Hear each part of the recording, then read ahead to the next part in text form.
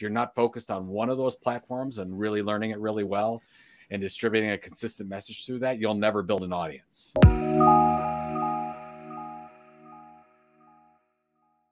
if you're looking to build an audience, let's say on these platforms, is there anything you're noticing now that you have to do or you shouldn't be doing, or just any advice into maybe you have a framework or something into building an audience? Yeah. Funny enough, yes, we do have we have a, a framework. I'll go a little bit into it. You mentioned the two pods, if you will, creator economy, which are individuals, small companies, and then you have the Nikes of the world, which are content marketing. So that's the Red Bull media houses of the world, right.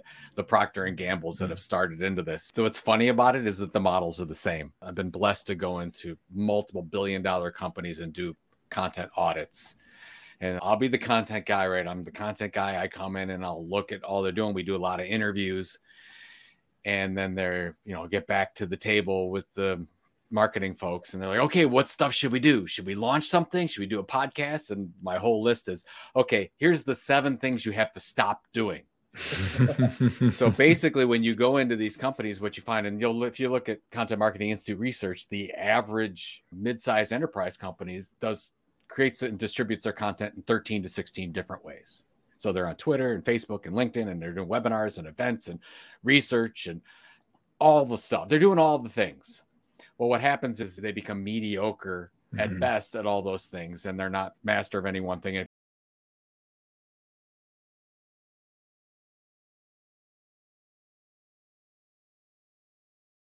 So basically, they do a lot of campaigns and a lot of content stuff, and a lot of creators do that as well. So that's my advice: is you have to start killing some things. If you're young, if you're just starting this thing, you have to resist wanting to do all those things because they'll say, "Oh, okay, I'm gonna do Instagram, I'm gonna do TikTok, and I'm gonna do YouTube, and I'm doing all these things at the same time." I'm like, no, you're not.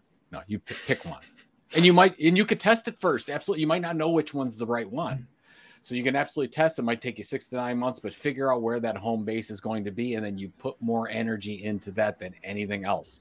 Mm. And what we see working really well is one home platform and email. So it's mm. YouTube and email, TikTok and email, Instagram and email, podcast and email is sort of the thing that works best. And then once you build that minimum viable audience and whatever that is, I mean, so you might ask, oh, what's a minimum viable audience? It's that number of audience subscribers that you can get to start to monetize.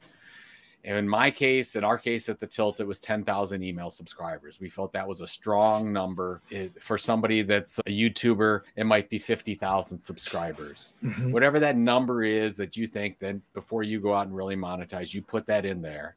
And then once you get to that level, then you can ultimately diversify into different things. I'll give you an example. So we started as just a blog for Content Marketing Institute. We did a blog and our research project for three years at CMI. Then we added our email. I wish we'd have done it sooner. We added our email news. So we have a blog and email with a side research project. We're doing that four years. That's all we're doing. Then we added a podcast.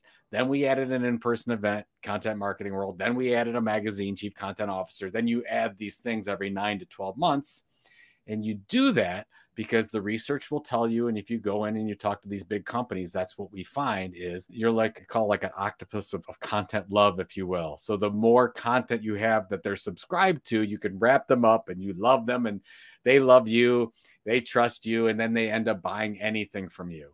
And we found in most cases the magic number is three. If they're subscribed to three things that you do, they're like an audience member for life. They're part of your community. They'll buy anything. So ultimately, that's why you diversify, but you can't diversify right away. Mm. So if you look at Red Bull Media House, how did Red Bull Media House? They do all the things, right? Sure, they do now, but they started as just a print magazine. New York Times, what they do all the things. They started at just a newspaper. Huffington Post, they do like 400, 500 different blogs, right? Yes, but they started to one blog to one audience. So then we diversify out. So that would be my recommendation is focus on what is that core platform build that out, and then you can diversify. Focus on your niche, right? Like yeah. find your niche and just give as much value as you possibly can to that niche in one form, right, or another, and really nail that. And once you nail that, then you can start to, you know, move on to other areas.